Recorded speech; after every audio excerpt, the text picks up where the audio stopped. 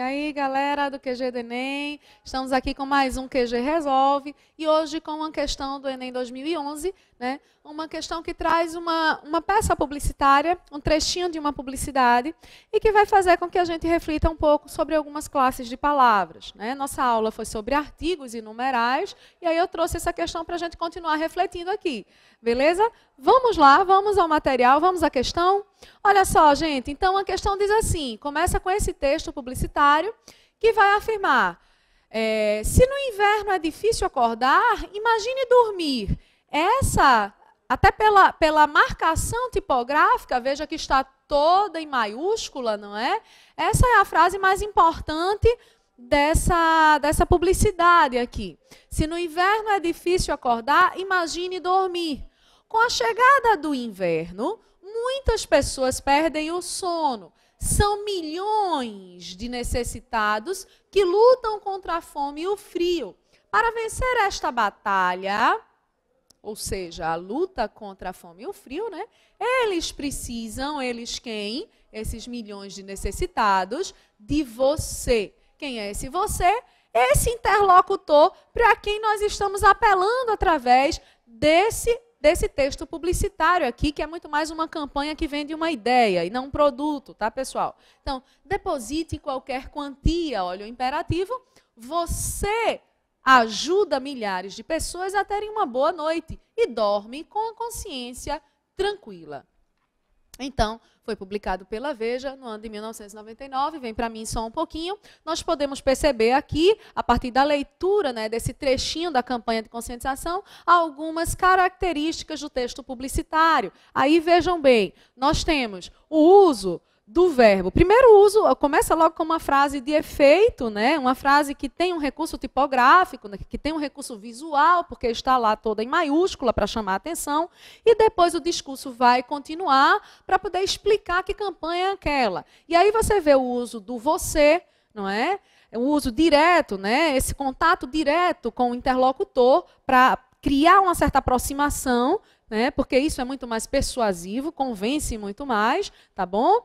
A utilização também do verbo no imperativo, que também é uma característica bem importante do texto publicitário, da propaganda de uma forma geral, e chamar atenção para o milhões, milhões de pessoas, um numeral cardinal sendo utilizado aí, milhões de pessoas, mas observem, normalmente o cardinal é utilizado para informar uma, um, um número específico, um número correto, mas, como eu dizia na aula, isso vai depender do gênero, né? Se eu estou num gênero é, mais do âmbito jornalístico ou científico, de fato, esse numeral precisa ter uma precisa ter uma, trazer uma certeza, né? Quando eu digo um milhão de pessoas, né? Precisa ser um milhão de pessoas, senão você vai estar dando uma informação falsa. Aqui no texto publicitário você diz milhões, você diz milhares, não é? Mas há uma ideia de aproximação.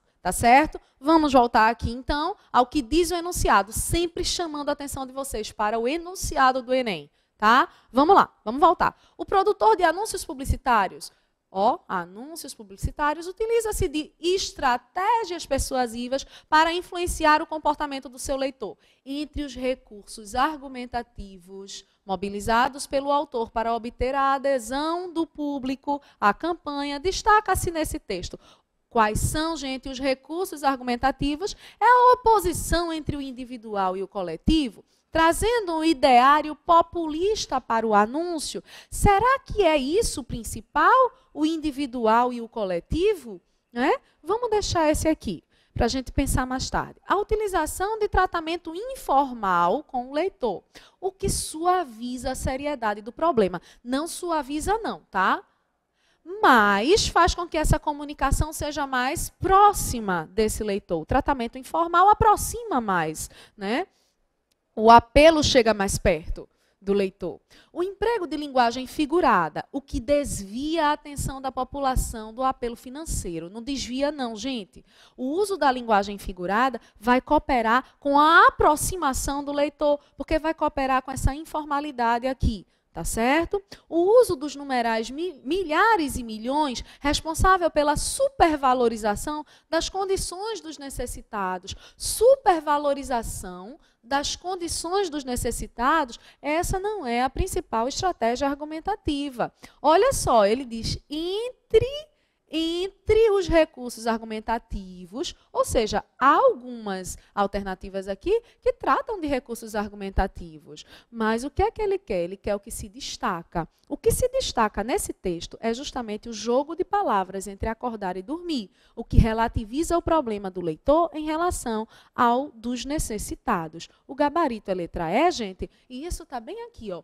Se no inverno é difícil acordar, imagine dormir. Volta para mim.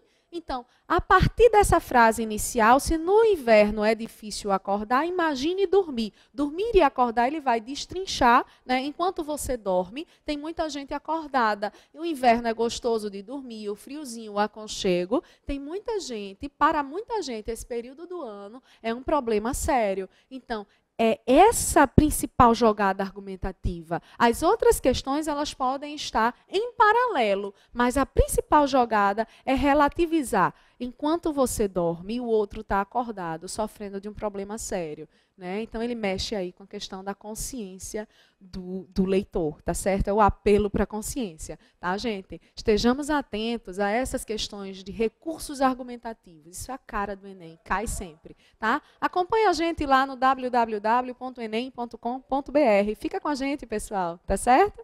Até lá.